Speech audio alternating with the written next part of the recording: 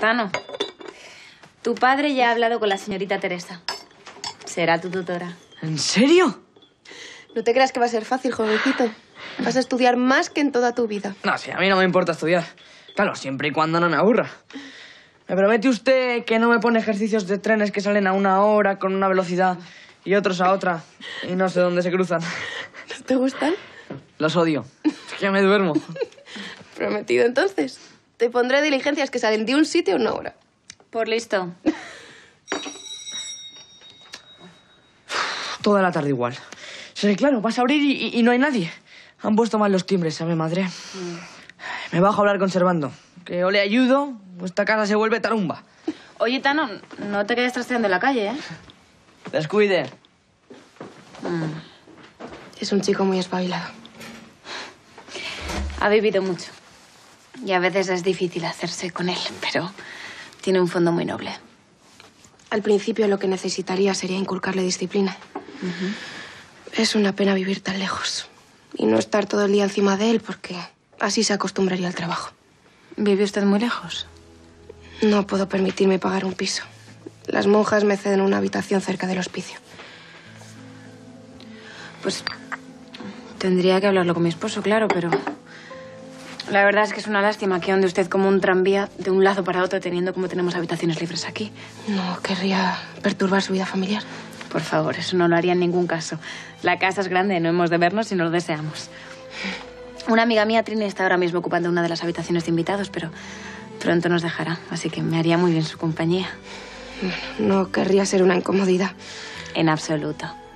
Así verá que hay muy buena gente en el barrio. Conocerá a mis amigas, a Trini, a Rosina, a Cayetana. Bueno, a Cayetana ya la conoce.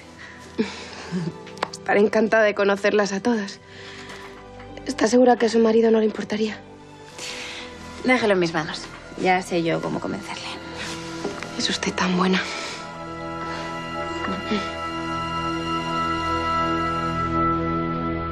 Está hecho un garnápero. Me rompió un jarrón con la pelota y metió los trozos en un tiesto para que no los viera.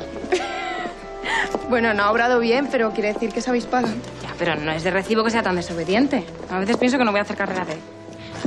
Es normal que a su edad cometa alguna trastada. Y viniendo de donde viene, demasiado bueno es. Entre nosotras. Ese jarrón era un regalo de una tía abuela de Felipe. Y no le tenía mucho aprecio. Vamos, que debería haberle dado un premio. ¿Quieres acompañarme a la iglesia?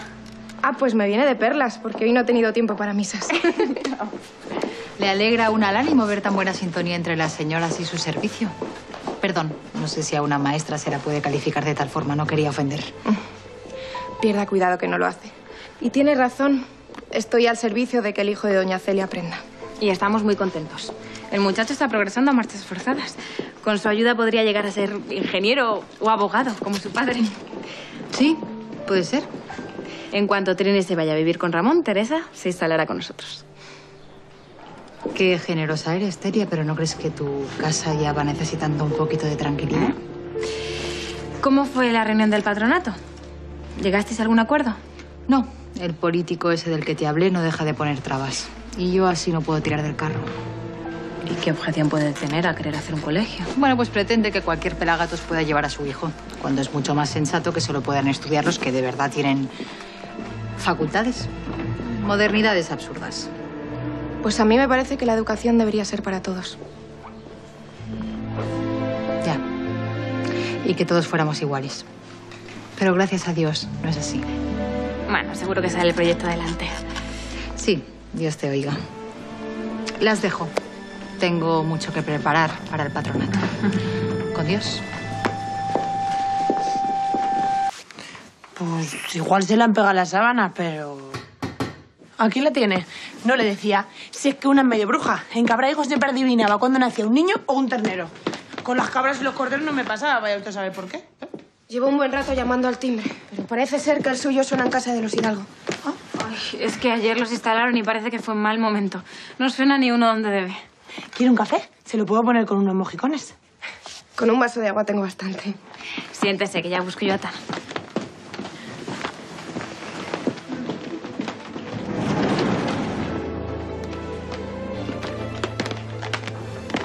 Dónde piensa llegar? No llego a entenderle. Ayer acepté que diera clases a mi hijo como tutora. Y no contenta con ello, ha manipulado a mi esposa para que le ofreciera instalarse aquí. Doña Celia fue muy amable con ese ofrecimiento. Que sepa que si ha aceptado, ha sido porque de otro modo le hubiera tenido que contar toda la verdad. Les hubiera dejado vendidos a usted y a Mauro. Le agradezco la complicidad en esto. No se equivoque. No me gusta cómo está haciendo las cosas. Cómo ha entrado en mi vida, en el barrio y ahora en mi casa. Le tengo mucho aprecio a Mauro, pero a usted la acabo de conocer y no me gustan sus tretas. Que sepa que la más mínima equivocación voy a tener que contar toda la verdad. No voy a poner en peligro a mi familia por cubrirla a usted. He hecho todos los deberes. No va a poder hacer nada más que aplaudirme. ¿Hay algún contratiempo? ¿Por qué va a verlo? Le estaba dando la bienvenida a la señorita Teresa. Me agrada que se instale aquí con nosotros. Es que va a ser de linda. Ahora que Trini se marcha, tener a Teresa como compañía me vendrá de perlas. Si quiere podemos dar un buen paseo esta tarde. Ay, pues bien que me gustaría. Pero debo asistir a una reunión del patronato de Cayetano. Pero si quiere acompañarme. Te acompañaré encantada. Damos la clase, Tano, que con tanta conversación no nos cunde.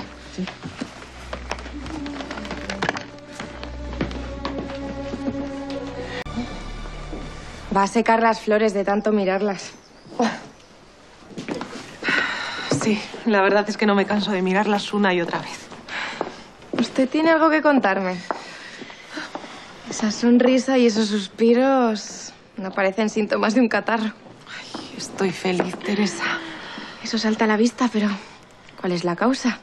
No creo que sea porque haya vendido muchos buñuelos.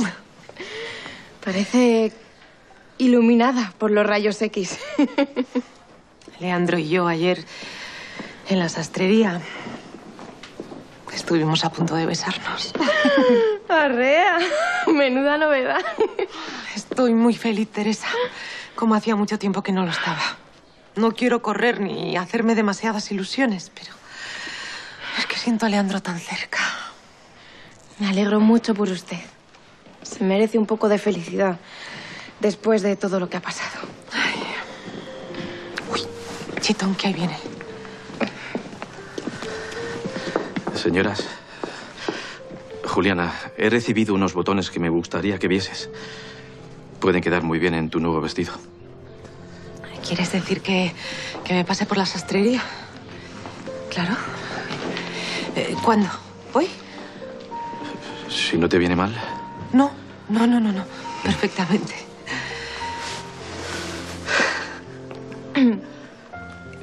No sé si conoces a Teresa. Es la nueva maestra de Tano. No, no tengo el placer.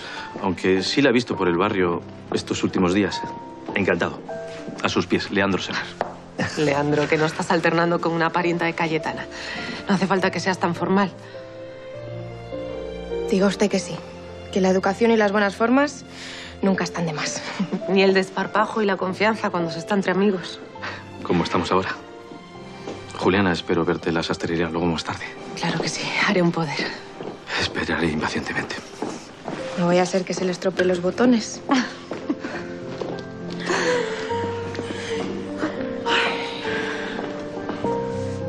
¿Cómo me gustaría poder amar de esa forma?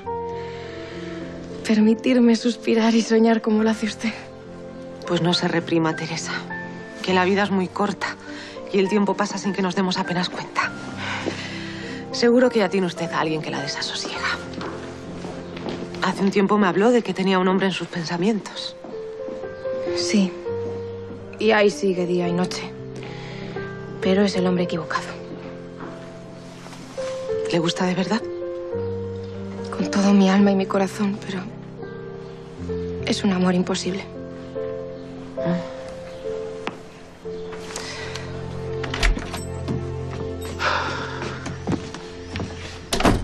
Que todo el mundo se ha vuelto loco. Cada vez es más el trabajo que tenemos en comisaría. El riesgo de mi oficio ya no es perseguir a maleantes, sino perecer rellenando informes.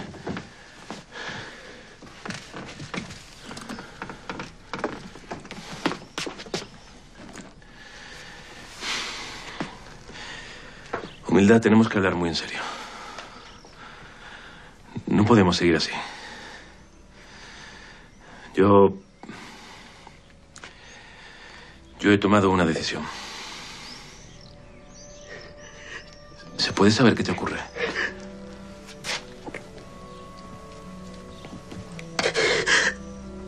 Que ya está muerto. Ha sido por mi culpa. Bueno, no, no digas eso, mujer. Era tan solo un pajarillo. Ha muerto por mi causa. Yo lo he matado. ¿Pero qué has hecho? No, no, no ha sido con mis manos. Ha muerto porque no he sabido darle los cuidados que precisaba. Soy una inútil. No, no consigo hacer nada derecha. No debes hablar así. Es la verdad. Si no soy capaz de cuidar a este pobre animal, ¿eh? ¿cómo voy a manejar mi propia vida?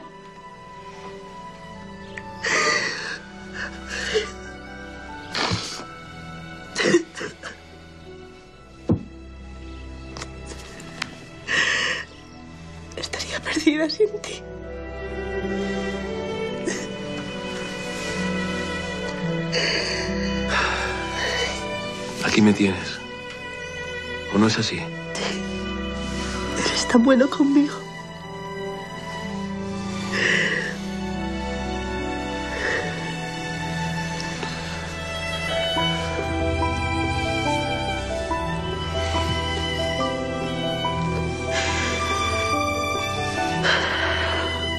¿Estás mejor? ¿Se te ha pasado ya el sofoco? Puede que me encuentre algo más reconfortada.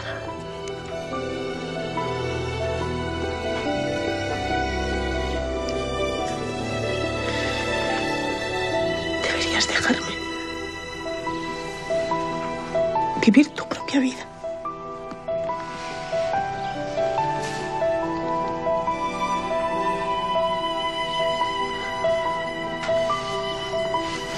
Sé muy bien lo que debo hacer.